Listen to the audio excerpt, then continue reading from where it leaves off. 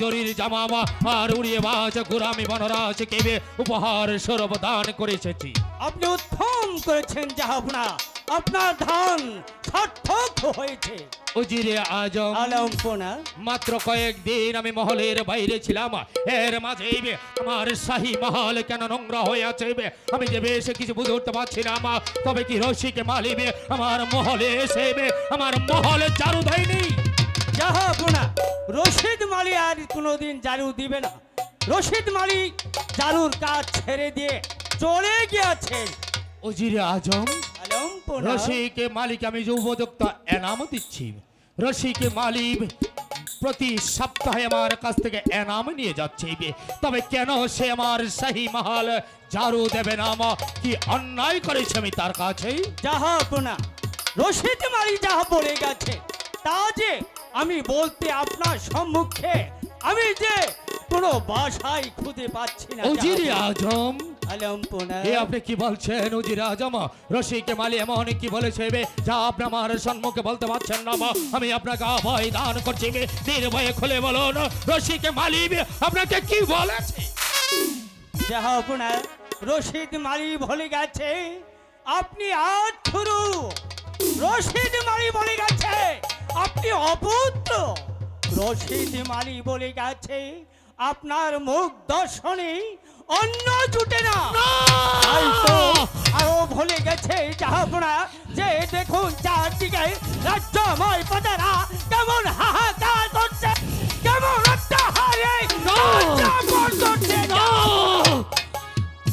না না আপনি কি বললেন রশিকে মালি এত কথা বলে আপনার আপনি আপনি সহ্য করেছেন।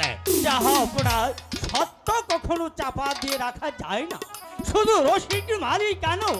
রাজ্যের সমস্ত প্রজারা যে দেখুন আজ কেমন হাহাকার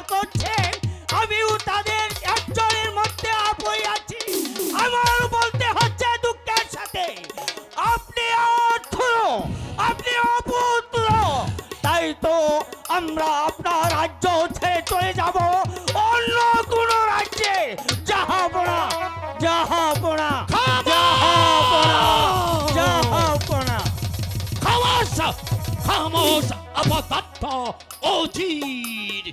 ইচ্ছে হচ্ছে না না না না, আমা- আমারই অন্য প্রতিপালিত হইবে, আমারই উজির আজম হইবে, আমারই সম্মুখে দাঁড়িয়েবে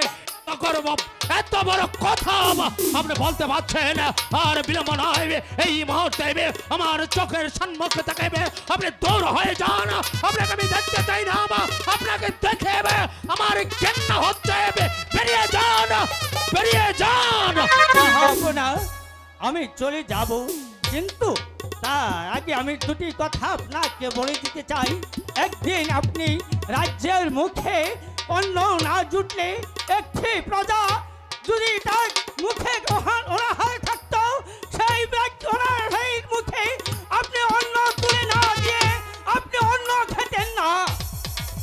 যাহা আপনি একদিন পদা দুঃখে যদি এক ফোঁটা অশ্রু মাটিতে পড়ে যেত, আপনার কলিজা ছিঁড়ে মুখ দিয়ে ফুটা ফুটা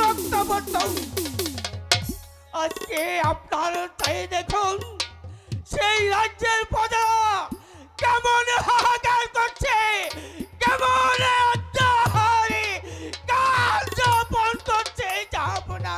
বেরিয়ে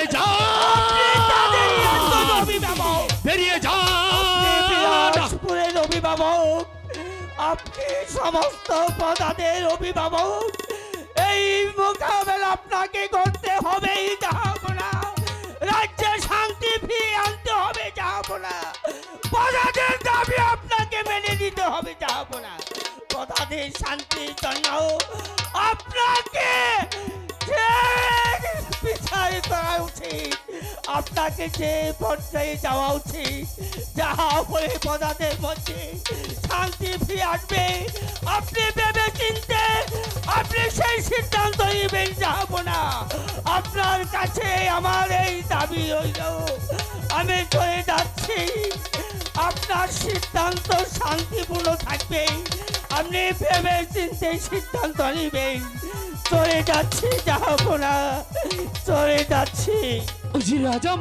ও, ও,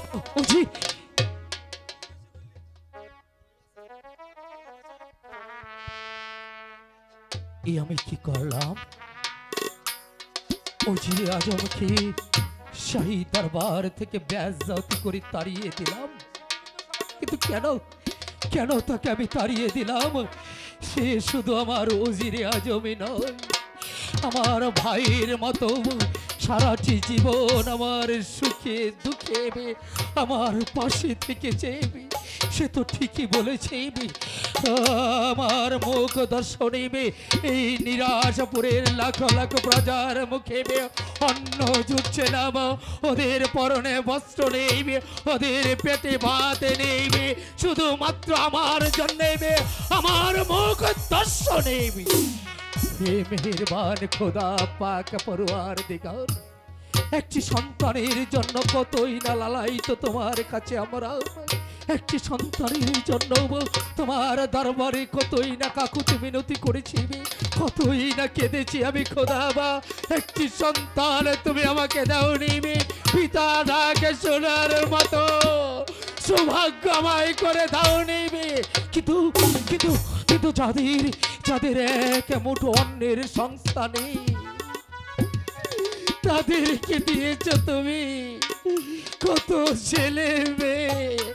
আমাকে আমাকে দিয়েছ এই নিরাশাপুরের রাজ্য দিয়েছ দিয়েছ নিরাশাপুরের সাই মাসনাতা কিন্তু কিন্তু আমাকে রেখেছ হাত করে করে জানা না। আমি আমার আব্বা হজুরকে কথা দিয়েছি প্রজাদের সুখে আমি সুখী হব বউ, প্রজাদের দুঃখে আমি দুঃখী হব বউ তাই তো বউ আমার জন্য যখন এই নিরাশাপুরের প্রজাদের মুখে অন্ন জুটছে না বা আমার জন্য যখন ওরা জ্ঞানায় মুখ ফিরিয়ে নিচ্ছে আমার মতো পাপির বেঁচে থাকার অধিকার নেবে প্রজাদের সুখের জন্য প্রজাদের মঙ্গলের জন্য আমি আমি এই রাজ্য ছেড়ে চলে যাব। শুধু তাই নয় আমার জীবন আমি আর রাখব না আমার প্রাণ আমি বিসর্জন দেব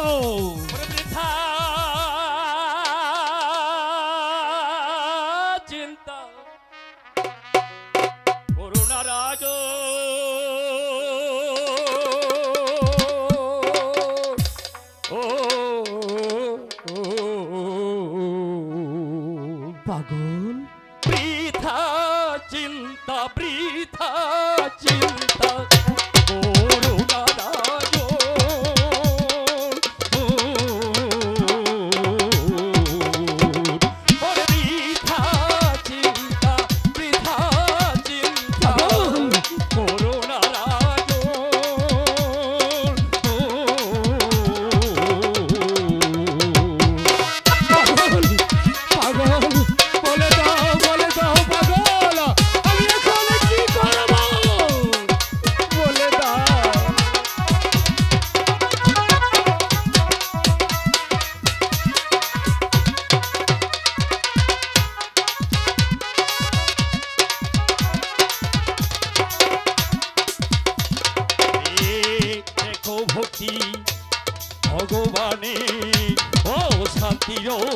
বিনাকালে দেখো ভক্তি ভগবানে।